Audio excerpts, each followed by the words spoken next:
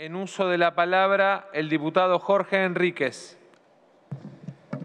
Gracias, señor presidente. La verdad que me sorprende la ignorancia supina de algunos diputados que están en este recinto. No digo, me sorprende en serio, porque que estemos discutiendo esto, recién pasó un diputado, el diputado Ritondo, dijo, ¿vos cuándo cumplís años? 3 de octubre. ¿Cuándo lo cumplís? ¿El 2 o el 4? Me preguntó Ritondo.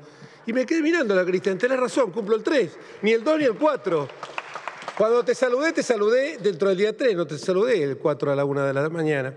Entonces yo digo, están esmerilando algo que tendría que ser esencial, el principio de la buena fe, lo están deteriorando. Y escuchá a esa diputada que dijo recién que los tiene que soportar. ¿Qué los tiene que soportar? Acá hemos dicho diputadas que se estaban lavando los dientes y se estaban poniendo las pantuflas para irse a dormir, mientras nosotros estamos acá hasta las 4 o 5 de la mañana. Es una falta de respeto a los que venimos acá. Y usted sabe bien, diputada, aquí se lo digo, la que se estaba lavando los dientes en la televisión mientras nosotros estábamos acá. Y acá he visto diputadas de mi bloque, como Karina Banfi, que llamaba a la casa por un problema de los hijos. Entonces, entonces, digamos las cosas como son. Esta sesión, y por eso digo la ignorancia supina, terminó a las 12 de la noche el protocolo. Todo lo que venga de aquí en más es nulo de nulidad absoluta e insanable. Y así lo dijo sentado. ¿Por qué? Porque en estos momentos acá, con todo el diputado de marcha, hay 70 diputados. No hay quórum, así que, señor presidente, usted tiene que levantar la sesión. No queda otra alternativa que esa, a menos que quiera sacar encima el saqueo que pretenden hacer sobre la ciudad de Buenos Aires, que dicho sea de paso, avísenle a esa diputada que habló recién que el federalismo abarca las 24 jurisdicciones, no abarca solo el interior del país. Y que los plazos en el derecho son fulminantes. Los plazos de caducidad, los que somos abogados lo sabemos. Si vamos a las 9 y media de la mañana a presentar un escrito en tribunales, llegamos 9 y 25, 9 y 31, y las dos primeras horas se cayó.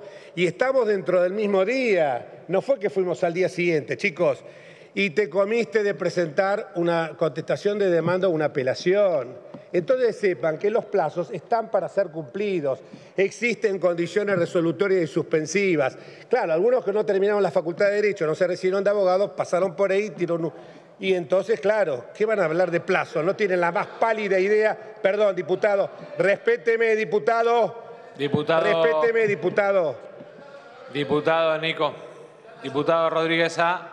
En las dos, sí, la dos, pero no tiene nada que ver porque eso está previsto diputado, en el diputado, Código Procesal. No, no dialogue, termine con su concepto, gracias. Los plazos son fatales. A las 12 de la noche terminó el protocolo, esto tiene que ser presencial, les guste o no les guste. Ergo, lo que corresponde ahora es contar. ¿Cuántos somos? ¿70? Bueno, muchachos, los vamos porque esta decisión cayó, no hay quórum. Esta decisión no existe.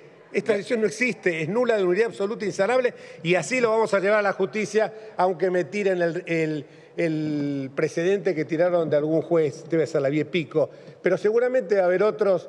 También ustedes pensaban, estaban muy ilusionaditos con el tema de la ley de arrepentido, y hoy tuvieron un revés serio. Gracias, señor presidente. Gracias, diputado.